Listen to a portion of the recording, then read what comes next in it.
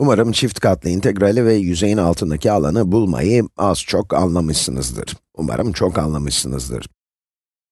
Şimdi daha somut bir şekilde anlamamız için hesaplamalar yapalım. Diyelim ki bir z yüzeyimiz var ve bu x, y cinsinden bir fonksiyon. z eşittir x, y kare. Üç boyutlu uzayda bir yüzey. Bu yüzey ile x, y düzleminin arasındaki hacmi bulmak istiyorum.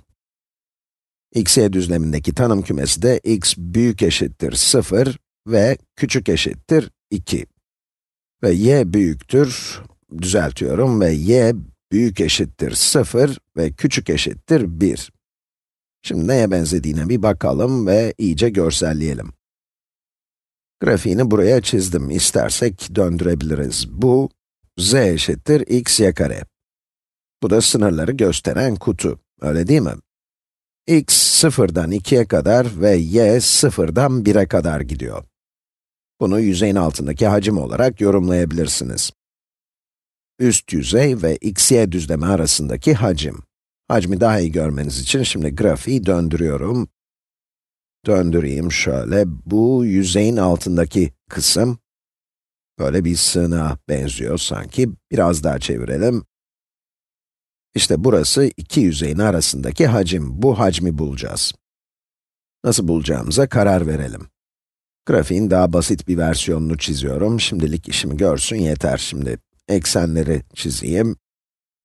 x ekseni, y ekseni ve z ekseni. x, y, z. x sıfırdan 2'ye gidiyor.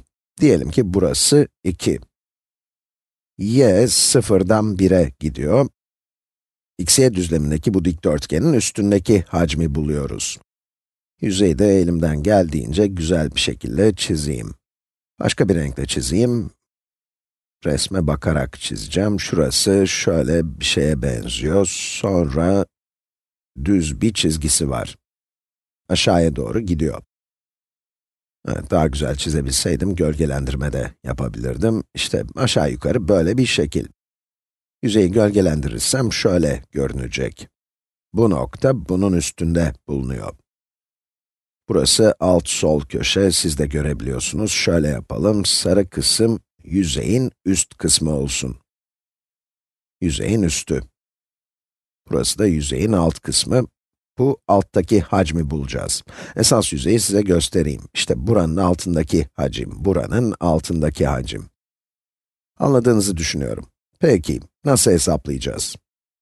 Son örnekte şöyle demiştik. Rastgele bir y seçelim ve y'ye göre, y'ye göre eğrinin altındaki alanı bulalım.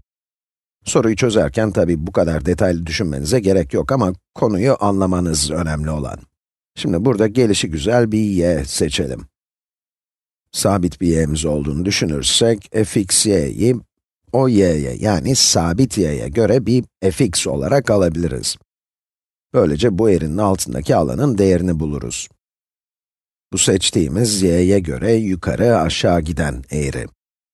y'nin değerini biliyorsak, mesela 5 ise, fonksiyon eşittir z eşittir 25x olacak. Böylece eğrinin altındaki değeri bulmak kolaylaşacak. Yani eğrinin altındaki değeri y cinsinden bir fonksiyon olarak yazacağız. Sabitmiş gibi davranacağız. Ve başlıyoruz. dx'imiz var ve bu x yönündeki değişim değil mi? Ve her dikdörtgenin yüksekliği de z olacak. Yükseklik z, x, y cinsinden bir fonksiyon. İntegrali kurabiliriz. Her dikdörtgenin alanı x, y kare olacak. x, y kare çarpı n, yani dx. Eğer verilen y'ye göre bu dilimin alanını bulmak istiyorsak, bu dilimin alanını bulmak istiyorsak, x ekseni boyunca integral alacağız x eşittir 0'dan x eşittir 2'ye integral alacağız. x eşittir 0'dan 2'ye. Eğrinin sadece bir y değeri için dilim alanını bulmak istemiyoruz tabii ki. Sadece bir y değeri için değil, eğrinin tamamının alanını bulmak istiyoruz. O zaman şöyle yaparız. Belirli bir y'ye göre eğrinin altındaki alan bu ifadeydi deriz. Biraz derinlik vermek istersem ne olur? Bu alanla dy'yi çarparsam bana, bana derinlik verir, öyle değil mi? bulmak istediğimiz hacmin 3 boyutlu dilimini oluşturmuş oluruz. Gözünüzde canlandırmanın zor olabileceğini tahmin ediyorum. Grafiği geri getireyim. Bir dilimin altındaki alanı bulduk.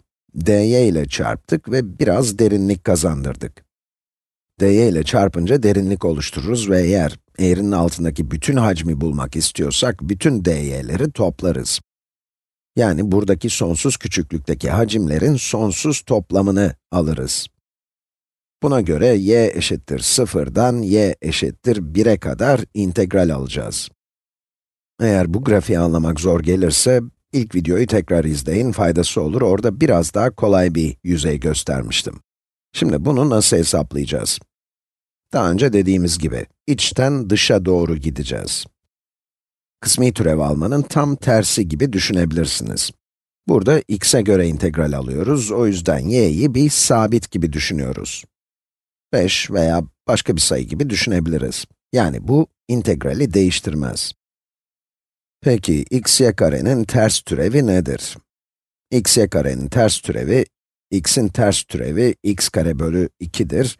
y kare sabit, öyle değil mi? Bu belirli integral olduğu için artı c'yi düşünmeye gerek yok. Bunun 2 ve 0'daki değerlerini bulacağız.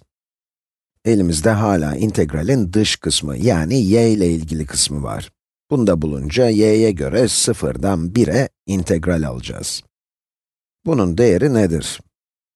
2 koyarız, buraya 2 koyarsak, 2 kare, 2'nin karesi bölü 2 buluruz ki bu da 4 bölü 2 demek.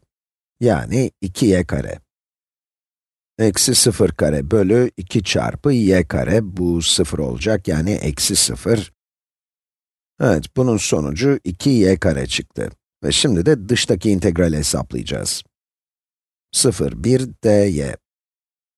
Bu dikkat etmemiz gereken bir nokta. İçteki integrali hesaplarken ne yaptığımızı hatırlıyor musunuz? Herhangi bir y değeri için bu alanı bulmaya çalışıyorduk. Yüzeyin alanını değil, yüzeyin altındaki alanı.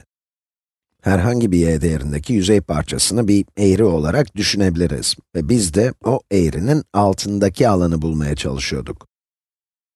Sonuç olarak da y cinsinden bir fonksiyon ortaya çıkmıştı. Böyle çıkması da çok mantıklı aslında çünkü seçtiğimiz y'ye bağlı olarak farklı bir alan elde edeceğiz. y'nin değerine göre alan da değişecek. Burayı hesapladığımız zaman y cinsinden bir fonksiyon bulduk ve şimdi y'ye göre integral alacağız. Bu bildiğimiz belirli integral. 2y karenin ters türevi nedir? 2 çarpı y küp bölü 3 veya 2 bölü 3y küp. Bunun 1 ve 0 için değerini hesaplayacağız. 1'in kübü çarpı 2 bölü 3. 2 bölü 3'e eşit.